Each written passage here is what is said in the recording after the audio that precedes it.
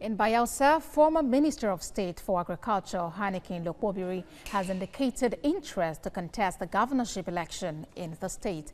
The two-time senator told officials of the All Progressives Congress and his supporters that his decision is informed by the desire to serve the people and help build a new Bayelsa of prosperity. We have details in this report. Minister of State for Agriculture Heineken Lokpobiri was at the Secretariat of the All Progressives Congress in Yenagoa for a specific purpose. INEC had released their timetable. In politics, everything has timelines. And one of the steps we are taking is to formally come and inform you and the EXCO members that we are running, you know, for the ticket of the APC to run and win the governorship election for November 16, 2019. APC is a united family. Your visit today has shown us that we are out for business. We are out to get into the creek haven come November 2019. The two-time senator and party faithful then moved to his campaign office where supporters had gathered to receive him. People of Bayelsa.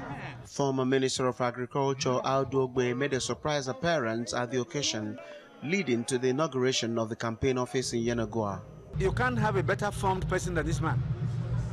In the process of going through these stages, you learn a lot more than you can learn in Harvard or Oxford. He has learned. And I'm a witness.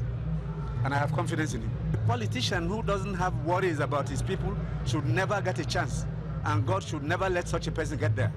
He has. And I tell him, when you become governor of Bayelsa, I'll come and visit you. Nobody is as ready as Heineken. He has been a former speaker Bayelsa State. He has been a senator, a former minister. I think that he has the capacity to be governor. And he is a very passionate man. He's passionate about the development of Bayelsa State. And I think he has all the qualities, all the attributes to be a good leader. The Ekeremor-born politician and pioneer speaker of the Bayelsa State House of Assembly presents himself as servant to the people. If APC did not come in 2015, Nigeria would have been like Venezuela. That is the way it would have been if APC, Buhari, President Buhari didn't win in 2015. People don't know. Because the man had integrity, the world had confidence in him, and we were able to bring the country out of recession. Today we are on the path of growth. I am running for governorship because I want to serve you. I want a new Bayelsa. I want Bayelsa to be the glory of all lands. Heineken Lokpobiri will test his popularity with other aspirants when the APC holds its governorship primary sometime in August.